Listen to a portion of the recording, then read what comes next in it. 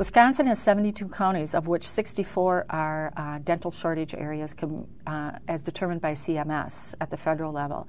And if you, especially for low income people, I mean, if you are a self pay person, you have dental insurance, you're fine. If you are low income, you might have to travel.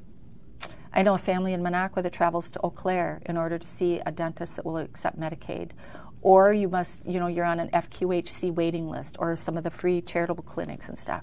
So it's very hard. Um, it's very hard. And it's not just rural and northern Wisconsin, it's very much urban Wisconsin also.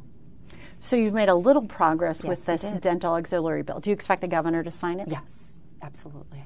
Yeah. Has he's- bipartisan support? Yeah, he's always been good on dental health care access. In fact, um, my other bill, which is dental therapists, we passed it through the Senate unanimously. Um, Robin Vos stopped it in the Assembly. It's still sitting in the Assembly Committee on Org. Um, Governor Evers had called me in early in the session and said, How can I help you get that done?